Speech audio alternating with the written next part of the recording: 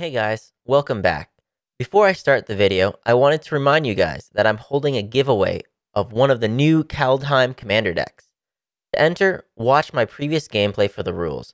I'll link it in both the corner and in the description of this video.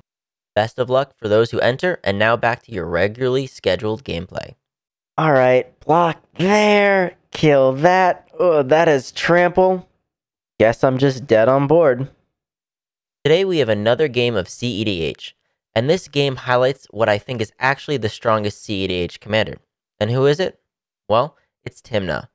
While she is often second fiddle to either a Vial Smasher or a Thrasios, I think the card advantage she brings is actually what sets her apart.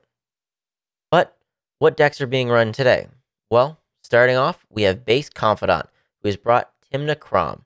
This is a Thasios consultation deck that runs Underworld Breach as a backup combo.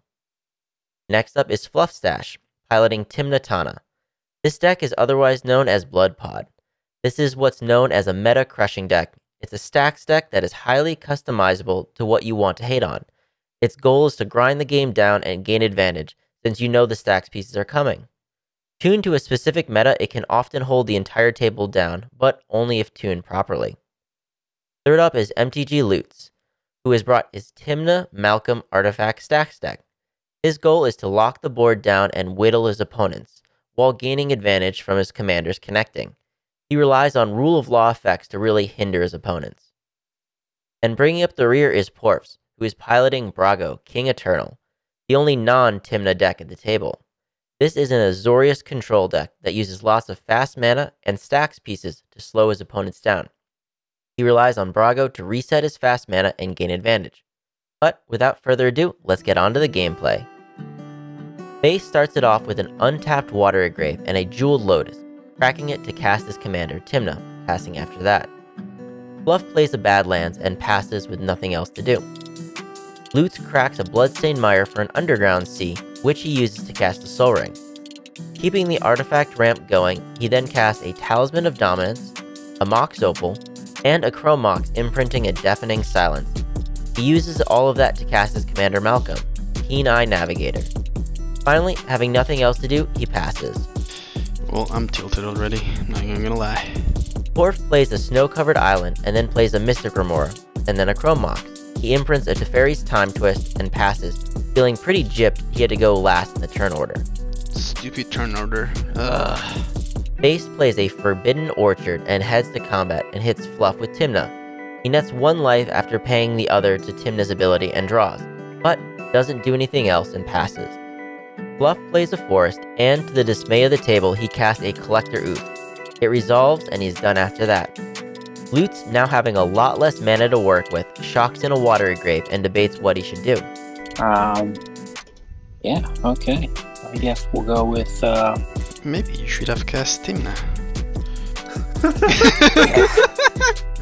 He heads to combat swinging Malcolm at Fluff, creating a treasure token, and passes after that. Porfs pays for his fish and then plays a Tundra. He also doesn't have much to do and passes. Base starts off his turn by heading to combat and swinging Tymna at Lutz. He pays a life and draws an additional card, and on his second main, he plays a City of Brass and uses it to cast Gamble. He doesn't pay for Porfs' fish though. He tutors a card and then discards an Enlightened tutor and passes after that. Fluff shocks in a Temple Garden and then casts his own Tymna. He heads to combat and swings the Ouphe at base, who takes it, and on his second main, Fluff pays a life to draw from Tymna. Lute starts off his turn by bolting himself to crack his Verdant Catacombs for an untapped Godless Shrine, and not wanting to be left out of the party also casts his Tymna. He heads to combat and swings Malcolm at base, creating another treasure and paying one life and drawing off Tymna. Having nothing else, he passes.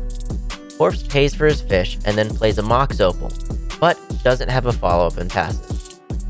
Base heads to combat, swinging Tymna at Porfs, who takes it, and on his second main phase, he draws from Tymna, but lacks the mana to do what he wants, so he discards Necropotence and Wheel of Fortune to hand size and passes after that.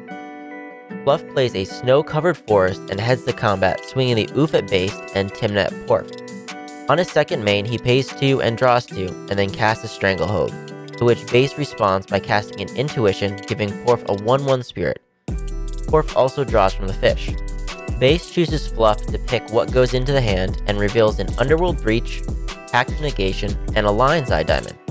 After some deliberations, Fluff chooses Pact to go to hand since Base is far from being able to cast it. Finally, the Stranglehold resolves and Fluff is done after that. Lutz plays an isolated chapel for land, and then heads to combat, swinging Malcolm at Fluff and Tymna at Based. Lutz draws two from Tymna and gains another treasure from Malcolm. But Lutz wants to leave mana up, so he passes after that. On his upkeep, Porf can't pay for his fish and lets it die. He then plays a Sabo's Web and draws off the ETB. He had hoped to find a land, but luck is not on his side, so he discards a Lithoform engine due to hand size and passes after that. Based once again just heads to combat and swings Tymna at Fluff.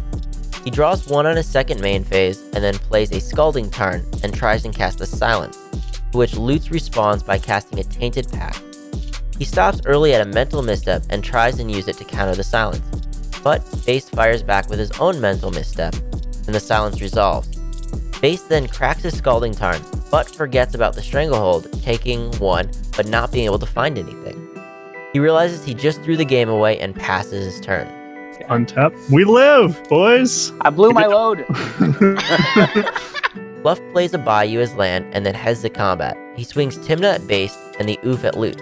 He draws two from Tymna and then casts a Chalice of the Void for zero, to which base Dovin vetoes it, giving Porf the Spirit token.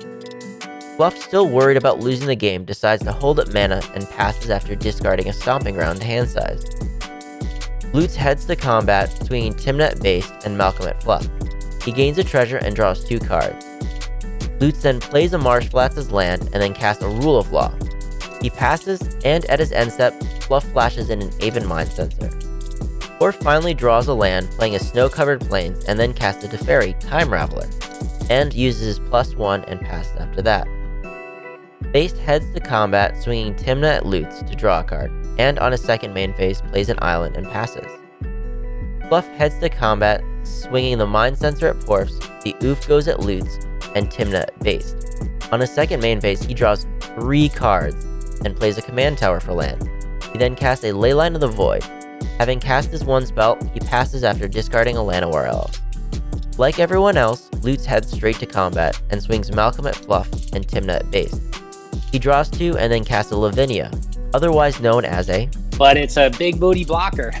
and passes after that. Porf starts his turn off by using Teferi to bounce the Ouphe so that he can use his artifacts for the turn. He plays a Windswept Heath and then casts Brago, passing after that. Base plays a Flooded Strand as land and then casts a Sevinne's Reclamation to bring back a Necropotence. He pays 11 life to Necro and then heads to discards. Fluff plays a Wooded Foothills as land and then casts a Collector Ouphe. Fluff then heads to combat swinging the Mindcensor at base, but is only able to draw one off Tymna. He discards a Vamp Tutor and passes.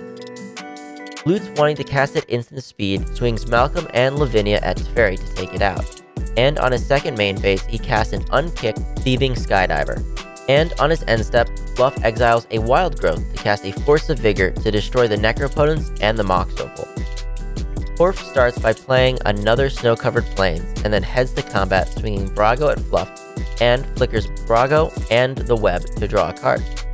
On his second main phase, he casts a Strionic Resonator, and on his end step, Base casts a Chain of Vapor to bounce the Rule of Law, to which Fluff responds with a red Elemental Blast, countering the spell. The stack resolves, and still being Porf's end step, Lutz casts a Disenchantment on Fluff's Stranglehold. Base plays an Underground Sea for land and then tries to bounce the Rule of Law with a Winds of Rebuke. Unfortunately for the table, this time it resolves and bounces the enchantment and mills everyone for 2. He then casts a Mana Crypt and a Lotus Petal, following it up with a Snap to bounce the Collector Ouphe back to Fluff's hand. And in response, Lutz cracks his Marsh Flats, but fails to find, and the Snap resolves, untapping Base's lands. He then casts a Thassa's Oracle, to which Lutz Vamp tutors in response, hoping to find something in the top 4. He chooses a card, but doesn't have a way of drawing it at instant speed, so instead he casts a Delay, to which Base casts his Pact of Negation. The Thassa resolves, and in response to the trigger, he casts a Tainted Pact to win the game. Game Review Well, this was an interesting game. The game really ground to a halt when the Collector Ouphe hit the field. It stopped both Malcolm and Brago, and really let Tymna shine. Over the course of the game, I don't even know how many cards she drew, but she was definitely what kept everyone except for Porfs in the game. Another sleeper card that really shined was Stranglehold. It really shut down Porf by not letting him use his creature tutors and prevented base from winning on his silence turn. But, question for the viewer who do you think is the best CEDH commander? Leave your thoughts in the comments down below. I hope you enjoyed the gameplay, and if you did, leave a like and consider subscribing, as it really helps us keep making videos. And remember, never give up, even if you're dead on board. I'll see you guys later.